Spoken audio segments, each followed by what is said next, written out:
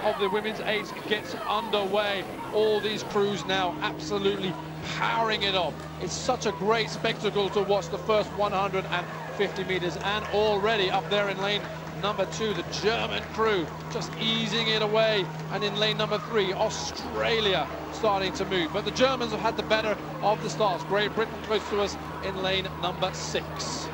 Yes, Germany was second last year. Um, very strong crew. They've been pretty pretty impressive on the on the uh, circuit. But Great Britain did beat them on the uh, in the semi-final uh, to to reach to reach this final. Uh, look out for uh, for uh, Romania back with some of their real old timers. they've got two people who in the boat there, Susanna Susanu and Damian, who won the bronze medal in the pair yesterday, and also Australia, who were the the fourth in the in the pair, and in the German boat, the stroke, the stern pair, Zimmermann and Hippler, they won the silver yesterday. So you've got some people here with rather tired legs, and that could have an effect on this race. Great Britain got off well closest to us in lane number six, Elena Order, top of the picture, now starting to push on Canada. Germany, early race leaders slipping back into Australia. That's the German crew there now in lane number two. Australia in three. Romania, the Olympic champions, making their charge to the 500 meter mark. Pushed hard by USA, who lead now. USA from Canada, Germany, Australia, and Great Britain leading the Olympic champions in lane number six.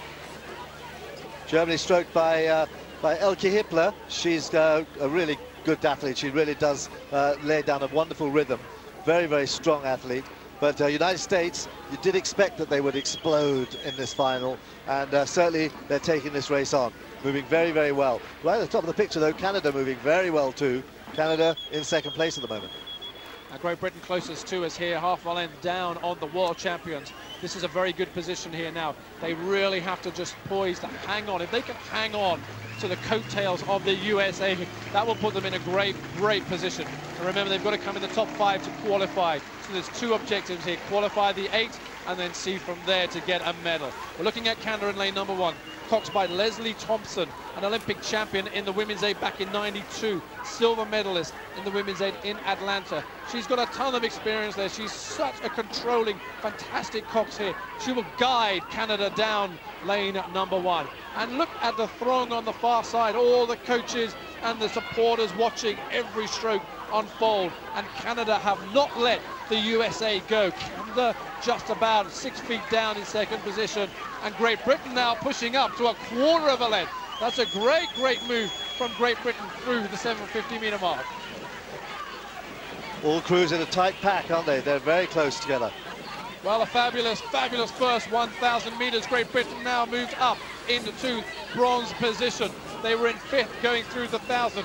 If you took a straw poll from everyone around here, would you have thought Great Britain being in the bronze medal position at the halfway mark in the final of the 2007 World Championships? So there'd be very few that would take you for that. But they have they are rowing the race of their lives. They did that to qualify out of the repechage. They're doing it again here now in the final. But watch Romania in lane at number four, the Olympic champions. Six of the 2004 crew back in that boat the experience now will start to show in this third 500 metres. Doina Ignat in the stroke seat of the Romanian boat, very, very experienced, multi-medals in her, in her background, very, very good at just timing this race, these, uh, these races well. She's bringing her crew through now uh, at halfway, and they are now challenging the leaders. So the 24-year-old Caroline O'Connor coxing the British crew. Britain slipping back to half a length from Oxford Brookes University. Really now has to drive this women's boat up to the next timing mark if they are going to be win with the shot of qualifying and let's start to dream about it, perhaps getting a medal because now they are on the cusp of a race of their lives. Out go again, USA, Romanians, we mentioned that. There's Great Britain now in lane number six. A little look left there from Caroline O'Connor. In the uh, stroke seat, Jessica Jane Eddie, a mere 23 years of age from University of London Boat Club, having a fantastic race. There is now only 500 metres remaining in this final of the women's eight, and the British crew are well and truly in there. In third position, they are leading the Olympic champions. They're leading Germany and the German crew on the home water here. And the British now have to go up because Romania are hunting down the race leaders, USA. Wonderful, wonderful place here. Great Britain, this side, still there, fighting off uh, Romania, but Romania challenging America. What Great Britain has to do is to keep Germany behind them and to keep uh, uh, the, uh, the United States in their sights. Keep Canada behind them and they get through to the Olympics and they are in a position here to get a medal. So with 250 metres remain, a mere 25 strokes. That's all it is for Great Britain to get on the medal podium for the first time in a long time. And the Romanians now are two feet, three feet down on USA. The race for the gold medal here. And Romania, up they go there. You're looking at Doina Ignat in the stroke seat. A ton of experience. The British boat in lane at number six hanging on. On the far side, here come Germany in lane number two. Australia in the middle in three. Romania still hunting USA. The USA crew have got their heads down. They're holding on, but they're going to move out to a, perhaps a quarter of a length. And it's a race. It's going to be close for the bronze medal. The British crew have to hold on. It's going to be a photo finish.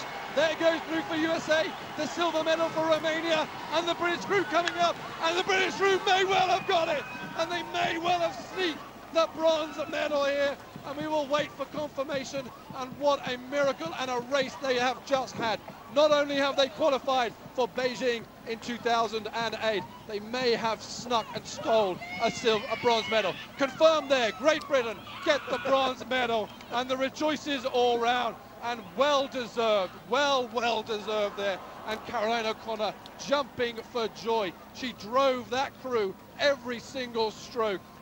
It's bronze here for Great Britain today in an outstanding performance. And USA get the gold. But let's watch Romania, the Olympic champions in 2004, going